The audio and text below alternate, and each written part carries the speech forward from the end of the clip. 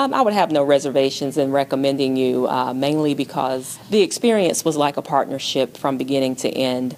Uh, we expressed what we needed, what our theme was, and we also expressed what our chapter members and our stakeholders wanted out of this event.